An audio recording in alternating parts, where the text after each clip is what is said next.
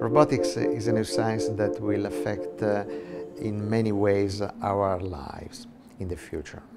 But uh, the people that most uh, of all will uh, leave this uh, robotics uh, invasion is the, the young people that today are at school. In this scenario, those who will be actors, not just spectators of this robotics revolution, are young people in some 10, 20, 30 years, they will live in a world where they will be probably not just uh, designers or uh, sellers or uh, technicians but by sure they will be consumer of robots. They will have to live in a society populated by robots that will perform many different tasks from cleaning uh, to, to assisting people uh, in, in many fields.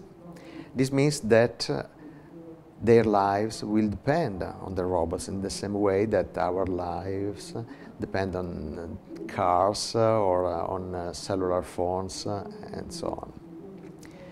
That's why it's so important, the education of young people to robotics.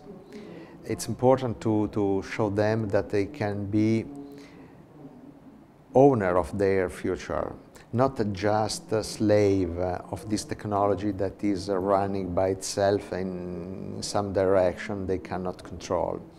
If they, they understand that they can, they can modify the way in which robots are built, they can be active in the, in the robotic field, not, not just be beginning, mm, becoming engineers, but also trying to influence the development of robotics probably the society will be prepared to the, to the issues that this uh, robotics invasion uh, will create.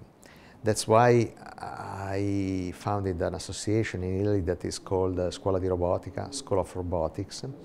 There is a no-profit organization that uh, go to schools and help uh, teachers to, to show robots to children, uh, to boys and girls, uh, trying to, to, to make them happy with robots.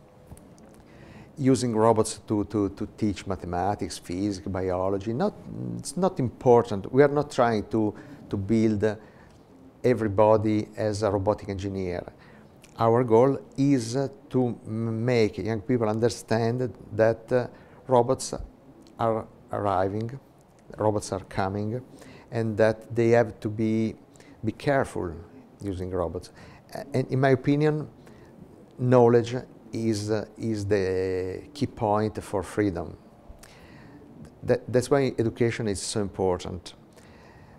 Of course, it's not important just the education of young people also the people at large should understand what's uh, going on in this uh, field because uh, what will happen in some 20 years depends on the decisions that are taken today.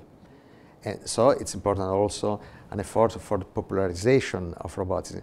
And this is a responsibility that is on, on robotic scientists because nobody knows robotics better than robotic scientists.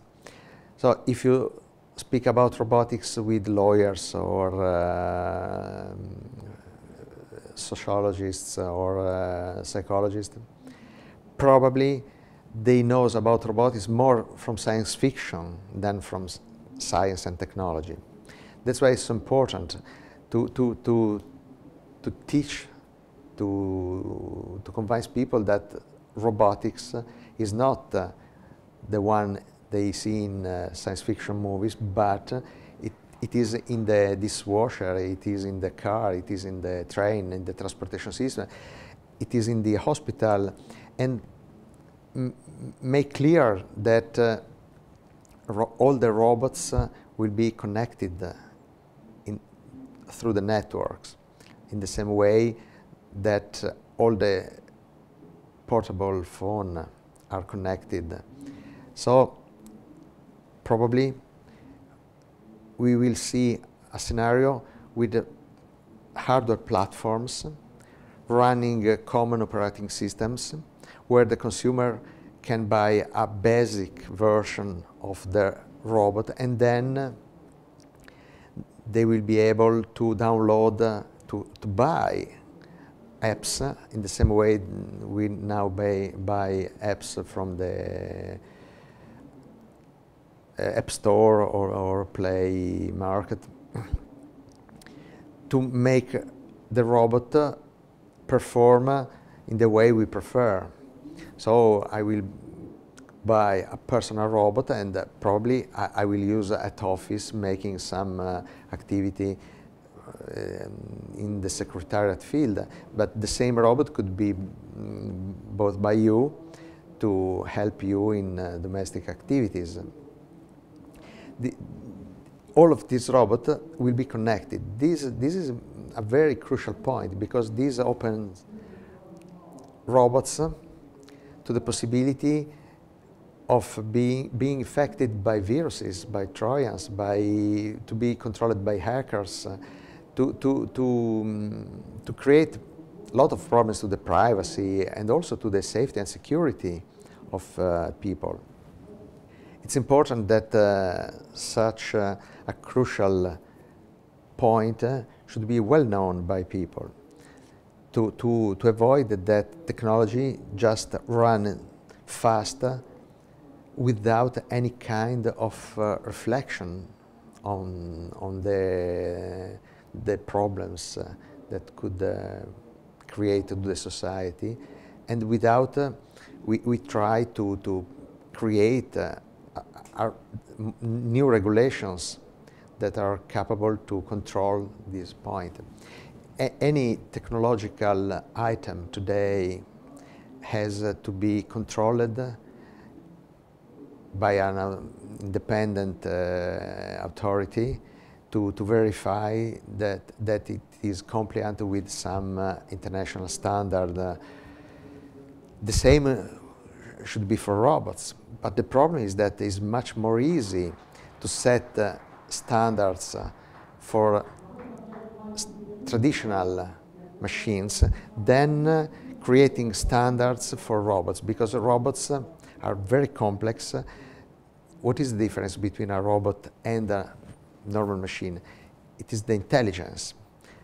This means that uh, there is a very complex artificial intelligence system in the robots that is not, not easy to, to test, to measure, to, to be sure that uh, it will be able to face any different uh, situation the robot will face uh, in its daily activity.